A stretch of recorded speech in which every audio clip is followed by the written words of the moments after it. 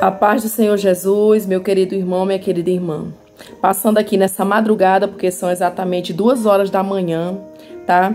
E tirei esse momento, irmãos, aqui já como de costume, nas madrugadas é necessário nós buscarmos, viu, irmãos? É porque é na madrugada, irmãos, que Deus quer falar conosco. Muitas das vezes a gente pensa assim: ah, a noite ficou para dormir. Certo, as pessoas trabalham, precisam do descanso, né? Querem dormir, quer descansar o corpo mas é na madrugada que o Senhor ele quer falar com a gente. Então estou aqui nesse momento para orar pela tua vida e trazer uma palavra para o teu coração. Eu não sei o que que você passa, o que você tem enfrentado, o que você tem sofrido na tua alma, no teu físico, no teu emocional, no teu espiritual, não sei o que tu passa, mas eu quero trazer aqui uma palavra para o teu coração. Amém? Palavra essa que se encontra no livro de Isaías, capítulo 41, do livro de Isaías, versículo 10, irmãos, que diz assim: Não temas, porque eu sou contigo. Não te assombres, porque eu sou o teu Deus. Eu te fortaleço e te ajudo e te sustento com a minha destra fiel. Então, irmãos, o que, que o Senhor quer dizer nessa palavra? Ele está mandando nós ser forte, nós sermos corajosos, nós não temer em meio às dificuldades, às tribulações, às tristezas que às vezes bate, porque muitas das vezes nós passamos momentos difíceis na nossas vidas, que às vezes quando nós estamos no meio do vale, como eu já passei, vocês são prova viva aqui no canal, do tanto que eu já sofri, irmãos, mas eu perseverei, sabe como? Lendo a Bíblia, buscando, orando, não faltando culto, indo para oração, indo para as campanhas. Tinha dia que eu não estava bem, sabe? Mas eu não desistia de fazer as coisas de Deus. Então, quando chega um determinado tempo, irmãos, que Deus ele vê isso.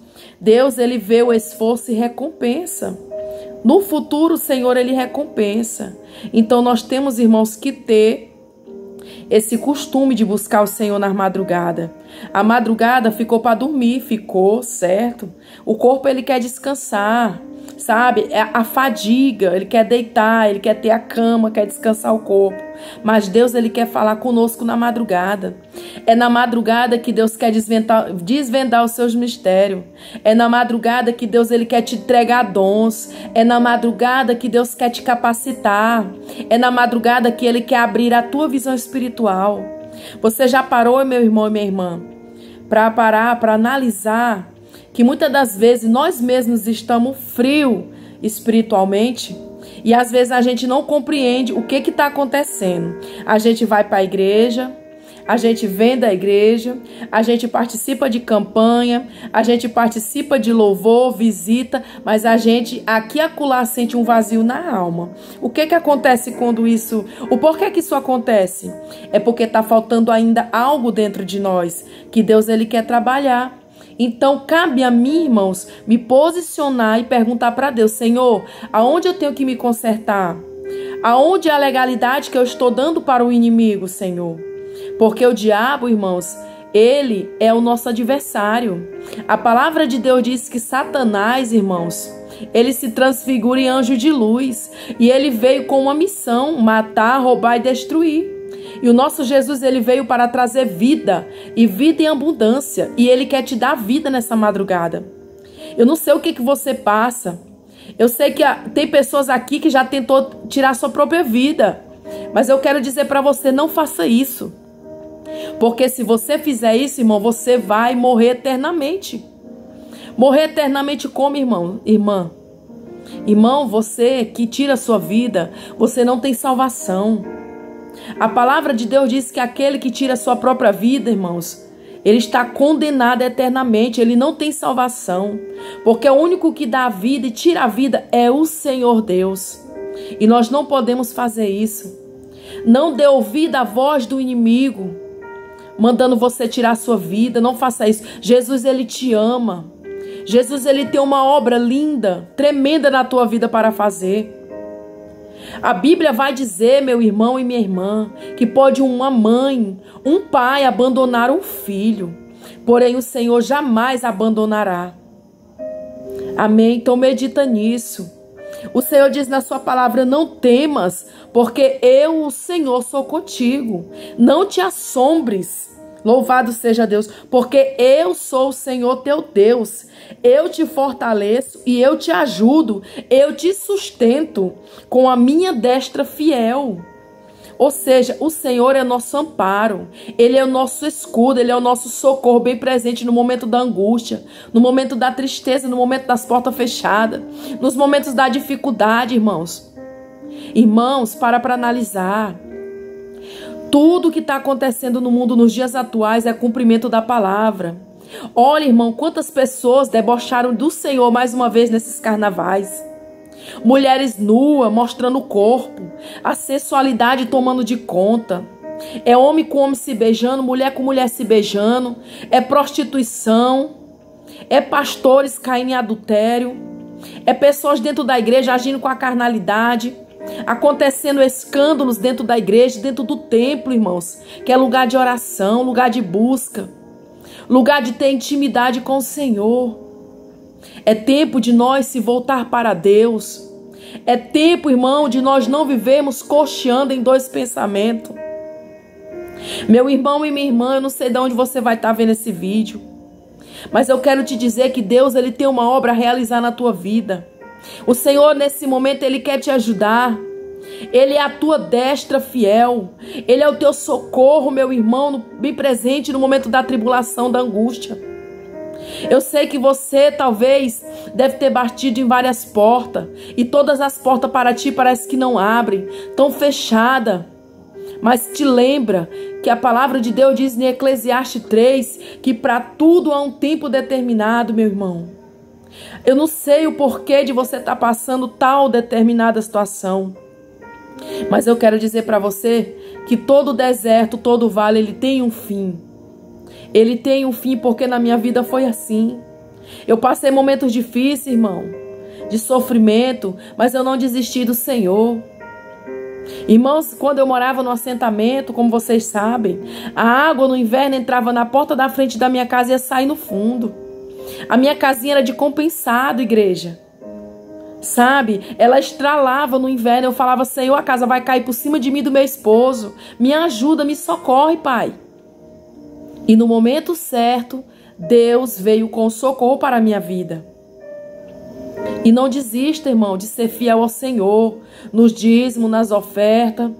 Seja fiel.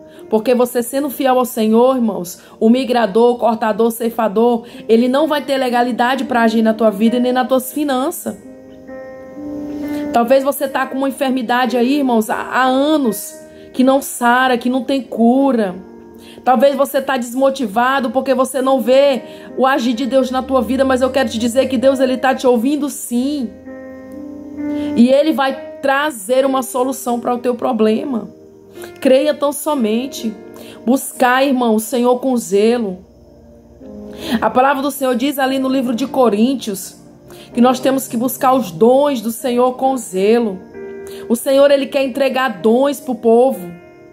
O Senhor, Ele quer completar a obra na nossa vida, mas é necessário nós termos uma vida de busca, uma vida de intimidade com Deus. Irmãos, as igrejas hoje em dia, o inimigo não está trabalhando mais lá fora, porque lá de fora, o diabo está ceifando, o diabo está agindo, sabe? E muitos ali estão fazendo as coisas da carne e agradando ao diabo. O inimigo ele tem, ele tem tentado as pessoas é de dentro da igreja, causando frieza sabe? Causando depressão. Crente com depressão, irmão, isso não existe. Crente com depressão, irmãos. Depressão, irmão, é, é coisa do inimigo. Depressão, quem causa é Satanás. Deus não nos fez, irmão, para ter depressão. Quem tem depressão, irmão, é o inimigo que está agindo ali. Para aquela pessoa chegar a um ponto de tirar até sua própria vida. Aleluia. Santo é o nome do Senhor. Eu quero dizer para você nessa madrugada, Jesus ele quer te curar. Jesus ele quer te libertar. Jesus ele quer te salvar. Jesus ele quer fazer coisas extraordinárias na tua vida, mas cabe a você se posicionar. A palavra de Deus vai falar ali, irmãos, no livro de Isaías e ali também em Segundas Reis, a história do rei Ezequias. O Senhor ali, irmãos, ia, né, causar uma enfermidade nele para a morte. Mas ali Deus manda o profeta Isaías ir de encontro ao rei Ezequias e pôr a casa dele em ordem, porque a enfermidade que estava no corpo dele era para a morte. E ali naquele momento ele faz um concerto com Deus, ele vira o rosto para a parede e faz um concerto com Deus. E Deus o ouviu. Ali houve arrependimento, arrependimento. Quantas das vezes, irmão, nós estamos com atitudes que não agradam a Deus. Ah, mas eu sou crente. Ah, mas eu não perco um culto. Ah, mas eu tô ali na escola bíblica. Ah, tô ali no, no, no ensaio com as irmãs. Eu tô ali no círculo de oração. Eu tô buscando. Mas você, muitas das vezes, está fazendo coisas que não agradam a Deus. Às vezes a tua oração ela é impedida no mundo espiritual por conta de certas coisas que a gente faz que entristece o Espírito Santo de Deus. Aí às vezes a pessoa ora, ora, ora e não alcança nada. Sabe? Mas eu quero te dizer, meu querido irmão, minha querida irmã, nessa madrugada. O sofrimento, as lágrimas pode durar a noite todinha. Mas a alegria, ela vem pela manhã. Por que pela manhã? Porque é um novo dia. É, uma, é um novo começo. Amém? É o que Deus quer fazer por mim e por você. Não tira a tua vida, não. Se posiciona como Jesus ele te quer. O Senhor ele já usou tantas pessoas para ti. Te conserta. Me aceita. Deixa eu te usar. Eu quero usar tuas mãos para curar. Eu quero usar os teus pés. Eu quero calçar os teus pés com a preparação do Evangelho. Eu quero completar a obra na tua vida. Abra teu coração verdadeiramente para Jesus. Você é um canal de bênção e não de maldição. Você é um vaso de honra na, na mão do Senhor. Deixa Jesus te usar. Ele te ama. Você é um instrumento. Você é alguém sim especial para Ele. Quem disse que você não é ninguém? Quem disse que você não vale nada? Você vale sim. Você é precioso, você é preciosa. Eu tô falando com você mesmo que tá aí desviado, ó. Afastado dos caminhos do Senhor, porque foi decepcionado dentro da igreja, porque foi caluniado, porque se levantaram contra você. Não é verdade? Para tudo há um recomeço. Lembra de onde foi que tu caíste? Ergue-te de novo. Te posiciona como Deus ele te ordena. O Senhor já usou muitas pessoas para ti, dizendo: "Vem, meu servo. Vem, minha serva. Deixa eu te usar. Eu estou voltando. O que tu vai ter preparado para mim naquele grande dia?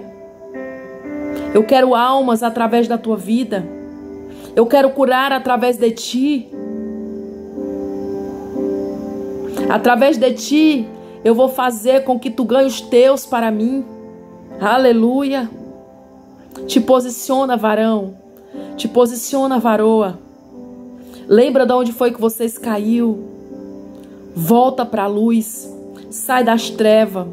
Abandona o pecado, abandona a vaidade, abandona a carnalidade. Renuncia agora. Te ajoelha aí agora, pede perdão para o eterno Deus. Ele está te ouvindo. O véu foi rasgado, você pode falar com ele aonde você quiser. Quantos países estão aí, irmãos, que não pode nem carregar a Bíblia debaixo do braço? E nem falar que é um servo ou uma serva de Deus, porque é morto. Nós aqui no Brasil temos a liberdade de dizermos que somos cristãos. Nós temos a liberdade de entrar dentro de uma casa para fazer uma campanha. Nós temos a liberdade de fazer missões, que é o que Jesus quer contigo e comigo. Ele quer te usar, varão. Ele quer te usar, varoa. Volta para ele agora. Não fica assim não, porque se Jesus voltar, você vai ficar. O inferno ele é real, irmãos. O inferno é real mais do que a gente possa imaginar, ele é real. Assim como o céu é real, o inferno é real. Ele não foi preparado, irmãos, o inferno não foi preparado para nós. Ele foi preparado para Satanás e os seus demônios. Satanás, ele era um anjo de luz, irmãos. Ele era a perfeição, ele era a formosura no céu. Como Satanás tem enganado a muitos. Como o diabo tem te enganado, colocando pratos, colocando coisas bonitas aparentemente aos teus olhos. O inimigo tem usado mulheres para tentar os homens. A sensualidade tem entrado até dentro das igrejas. E as pessoas estão esquecendo do primeiro amor. Volta para o primeiro amor hoje. Faz uma campanha no livro de Efésios 6, capítulo 10 adiante. Procura-te te revestir do armamento novamente. Seja um soldado. Se aliste hoje novamente.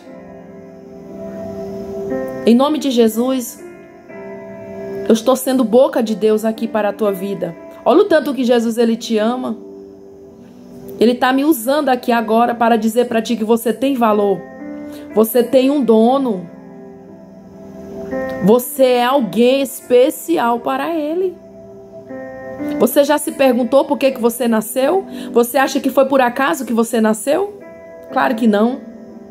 Ele tem um plano na vida daquele que ele permite ter vida. Não deixa Satanás te enganar, não. Porque ele é mentiroso, ele é acusador, ele é enganador. Amém, meus irmãos? E ele só veio com a missão de destruir, de matar, de roubar, de enganar. Não seja enganado por ele. Amém? Se posiciona como Jesus ele te quer. Porque ele tem obra para fazer na tua vida, mas cabe a você. Amém? se colocar na brecha, deixar Jesus trabalhar na tua vida. Amém? Quero trazer outra palavra para ti. Aleluia. Louvado seja o nome do Senhor Jesus.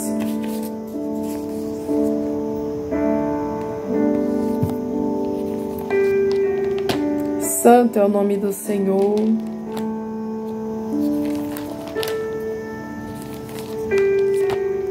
Faz um voto com Deus, irmãos. Aleluia.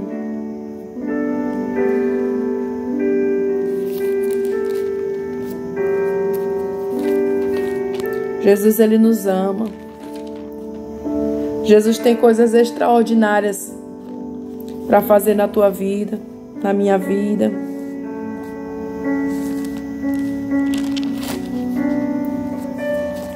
Ele é Deus, irmão. Ah, mas Deus ele já falou tanto que vai abrir a porta e Deus ele não abre. Até agora eu não vejo nada acontecendo na minha vida. Não fica triste não, irmãos.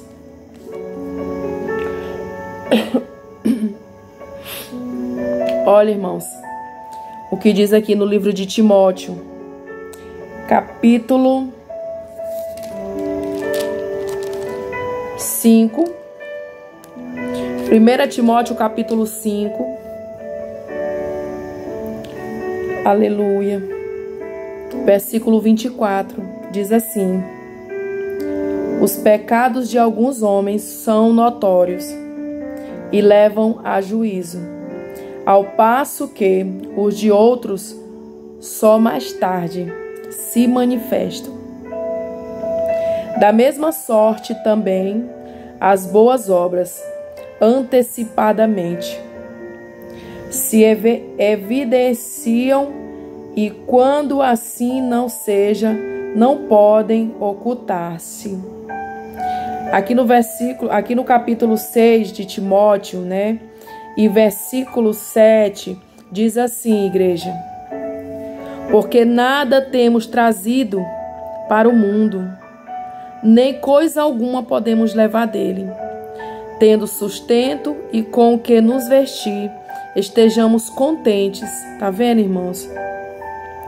Ora, os que querem ficar ricos caem em tentação e cilada, e em muitas concupiscências insensatas e perniciosas, as quais afogam os homens na ruína e perdição. Porque o amor do dinheiro é raiz de todos os males, e alguns nessa cobiça se, se desviarão da fé e a si mesmo se atormentarão com muitas dores. Ou seja, irmãos, a gente não trouxe nada para esse mundo, certo? Deus, ele abençoa, ele fala na sua palavra que nós, o servo dele vai comer, né? E vai viver do melhor dessa terra? Sim.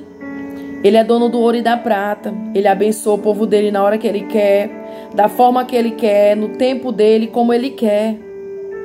Só que muitas pessoas, quando eles estão começando a ser ricos, ser famosos. Irmãos, tem pessoas que faz pacto com o diabo para ter fama, para ter dinheiro. E o Senhor diz que essas pessoas caem na ruína. Ou seja, olha o que que diz, ó. Porque o amor do dinheiro é a raiz de todos os males.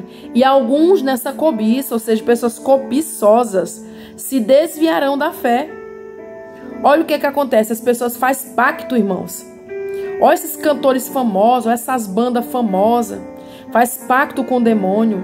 Faz oferendas para ter fama. E aí o fim dessa vida é o que, irmãos? O diabo bota câncer, morre de doenças feias, vem, vem a ruína sobre a vida deles. E a fé deles no Senhor não tem. E eles aqui, ó, por conta da sua cobiça, eles se desvia da fé deles. Não tem fé, irmãos, porque tá ali, ó, com a cobiça no dinheiro, a cobiça na fama. Quanto mais ele tem, mais ele quer. E nós não vamos levar nada. Nada.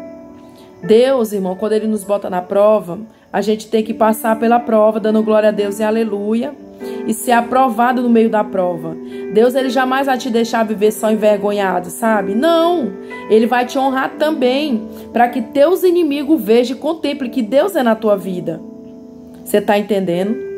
Então, irmão, não é mais tempo da gente estar tá pegada a bem material, não é mais tempo da gente estar tá pegada a nada, sabe? Não deixa nada abalar a tua fé, tirar o foco, o brilho de Cristo de ti sabe? Às vezes tu passa luta com teu casamento, com teu filho que tá na droga.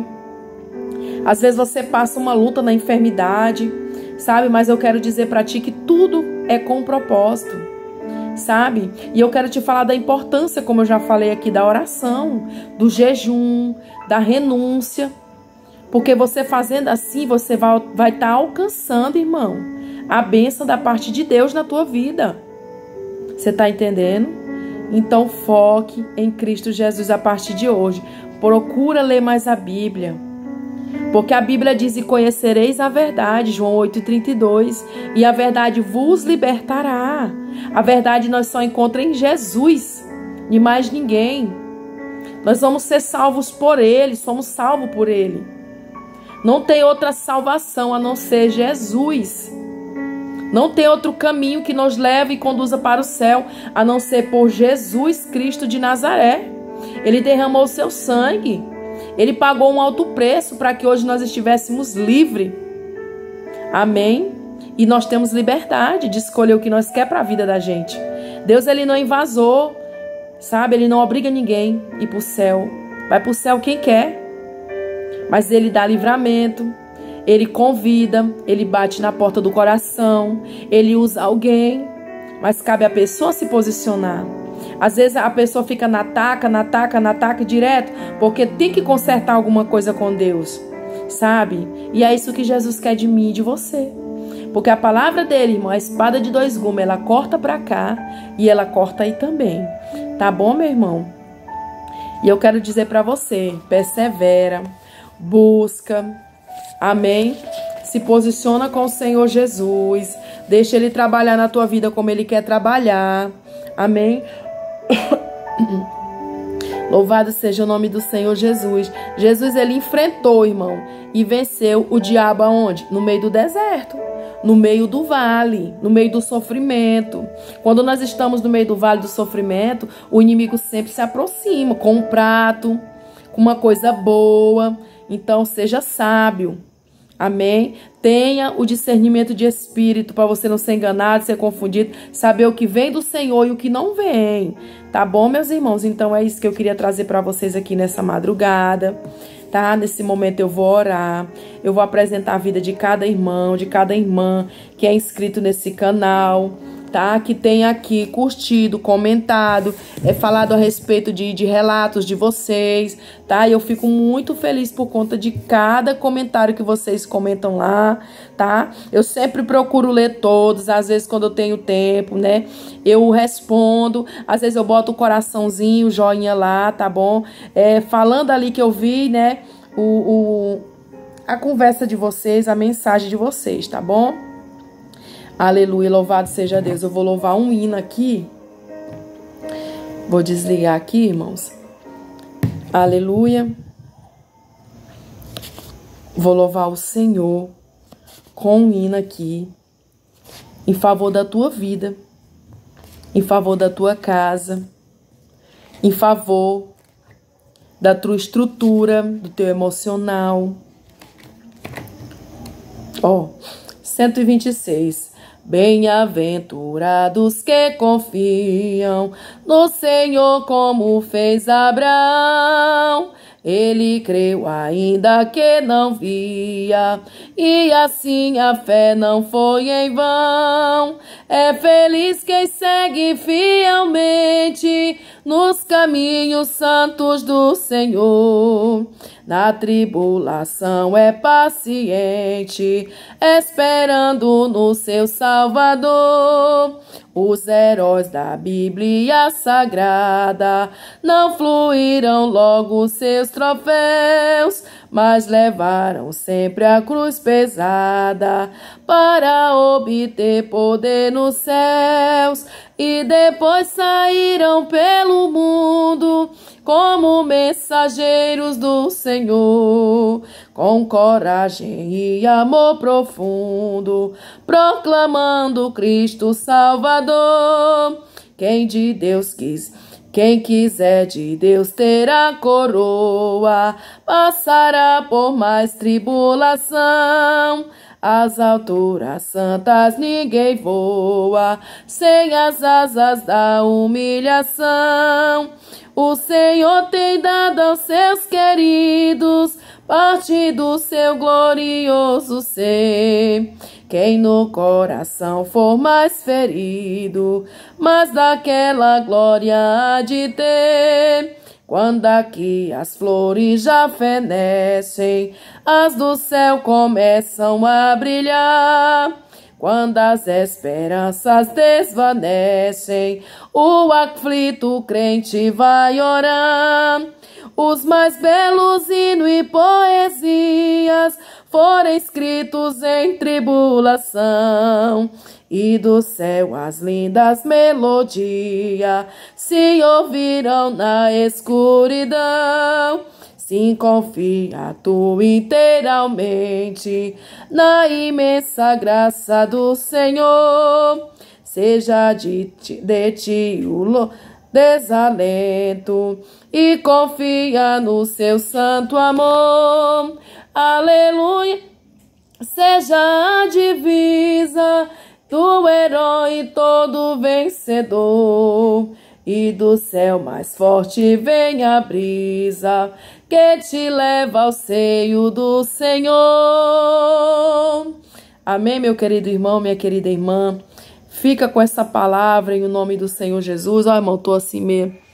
Ó, isso aqui é suor, viu? É um óleozinho. Eu, eu as pessoas pensam que eu passo, irmãos, eu não passo base, eu não uso base, eu não uso nenhuma vaidade na minha vida, ó. Não uso, já falei. Tanta gente me acusa aqui, gente. Ai, mas você tá com a cara muito brilhosa. Irmão, isso aqui só é óleo, ó. Aqui tá muita quintura. Se diz aqui a quintura tá grande.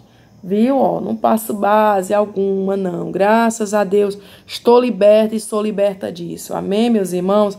Fica com essa palavra em nome de Jesus, fica com esse louvor.